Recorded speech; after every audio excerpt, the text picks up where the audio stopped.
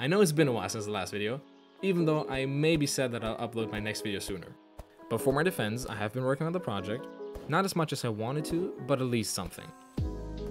Last time I showed you how I made my game go from this to that by using normal maps and some other tricks.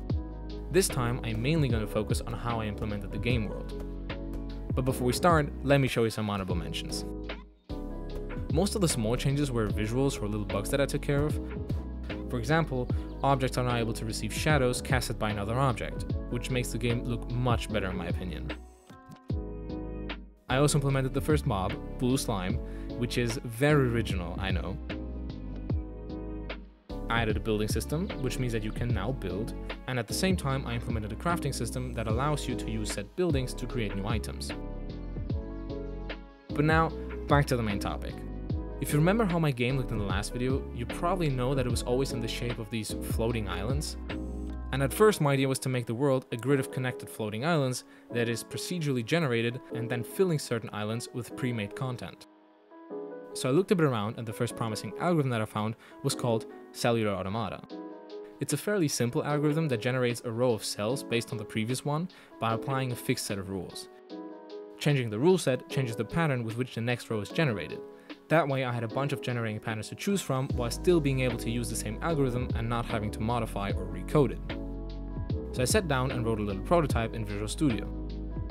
After finishing the prototype, I tested it with a bunch of different rule sets, but I was not able to produce a reliably satisfying result. So after some good amount of wasted time, I decided to look for a better alternative. Later, I implemented an algorithm called wave function collapse. This approach worked actually pretty good, but me being a dumbass, I forgot to record the final results. After playtesting though, I realized that the game did not really feel smooth and fun.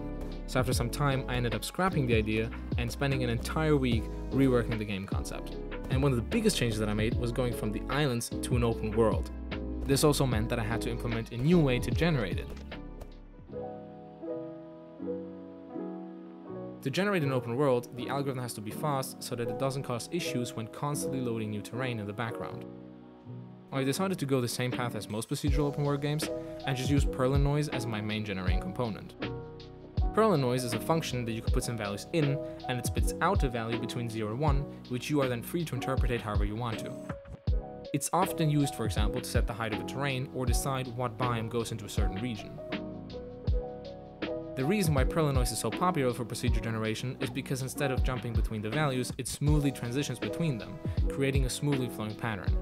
In my case, I'm using the noise function to load a chunk from a pre-made pool. This works fine for now, but this means that in order to not have repetitive chunks, I would have to create a really big pool of options. That's why I'm definitely also going to have to generate the vegetation and resources via a separate noise function generating the world procedurally has the benefit that I only have to store the seed created at the start and the modifications made by the player. It also allows players to load a specific seed they want to play. Please tell me in the comments what you think about the transition from the islands to the open world, as well as you have ideas about what things you would like to see in the game. I would really appreciate that. Also, maybe consider subscribing and leaving a like since you already made it so far. I hope you have a great day, and thanks for watching.